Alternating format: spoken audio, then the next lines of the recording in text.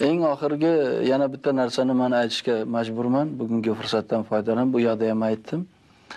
Bizlarni e, yana bitta oldimizda rivojimiz istiqbolimiz iqbolimiz oldida bitta yana xavf bor. Bu rossiyada paydo bo'layotgan har xil kuchlar har xil harakatlar va namoyishlar. Ya'ni e, ulug' rossiyani sssr chegarasida tiklamoqchi ekan. Buni yana soddaroq tushuntirib berishdi. Sssrni qaytarish deganlari endi bu hovliqib yurgan odamlar juda ko'p. Eski kommunistlar eski qolipda yurganlar shu mm, mazza qilib yurgan mana shu part nomenklatura deydi ya'ni e, shu partiya aytaylik e, tepasiga chiqib mazza qilib butun dunyoni aylanib yurgan odamlar ham bor. Har kuni moskvaga chopib borib E, nima buyurasiz deb so'rab yuradiganlar hozir ham shunaqalar ham bor man bilaman. Lekin gap ularda emas ular hozir dumini asti ancha ancha bosib e, hech narsa qila olmaydi. Nima deganda xalqimiz tushundi endi. Qaysi yo'l yorug' yo'l qaysi yo'l haqiqiy haqqoniy yo'l qaysi yo'l e, nimaga olib kelishini. Man nima chetdan hozir bizaga xavf to'g'risida gapirmoqchimanki bularni fikri sssrni qaytarish o'z yo'li bilan. Ya'ni yana bizlarni sssr tarkibiga kirgizish. Ulug' rossiya sssr chegarasida degani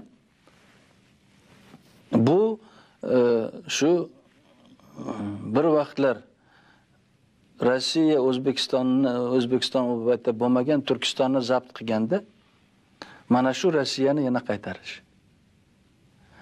Sssr chegarasini rossiyaga aytaylik butunlay aytaylik berish. Hozirgi aytaylik harakatlar mana qo'shni davlatlarimiz bular ham endi maqtanib yuradi ko'p endi ularga ham buyursin maqtanishi aytmoqchimanki chegarani e, Rossiya e, harbiy kuchlar bilan qo'riqlash bu mustaqillik dalolati emas. Bu mustaqillik dalili emas. E, bu zaiflik dalili.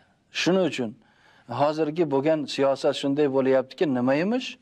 Rossiya e, mana shu atrofda yashayotgan davlatlarga endi mustaqil bo'lmish davlatlarga e, e, Birlashgan Millatlar tashkilotlarini a'zolari teng a'zo bo'lmish davlatlarga uni chegarasini himoyalashga, qo'riqlashga yordam berarmish. Yordam berarmish.